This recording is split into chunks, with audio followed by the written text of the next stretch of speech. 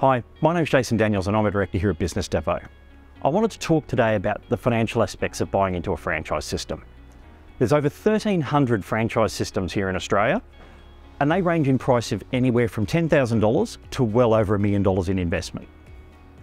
There's some things you should consider from a financial point of view, ranging from the return on investment, getting a return of your investment over the course of the franchise, being able to repay the bank and being able to earn a benchmark wage. When we're looking at a franchise and, and its financial viability, we look at all of those numbers and look at what that should equate to in terms of an average break-even profit that that franchise should earn over its life. From there, we can take that, put that into a break-even profit analysis to break-even sales and a break-even budget for the life of the franchise. You can then start to look at what your break-even sales need to be per annum, per month, down to per week, per day, and even per sale.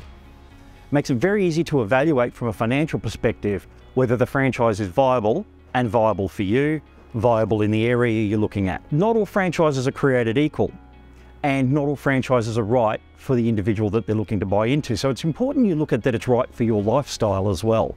Is it going to meet your lifestyle needs from an earnings expectation?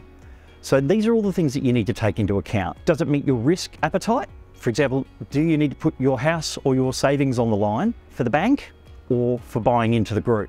Do you understand the financial risk implications of taking on a lease or buying equipment or your obligations under the franchise agreement? These are all the things that you need to think about as part of buying into a franchise. There are some excellent franchise systems out there and some business owners that have done very well through franchising. We recommend though that you go into any franchise arrangement having done your homework. If you need help in understanding whether a particular franchise system is right for you, please don't hesitate to reach out. We'd be happy to help.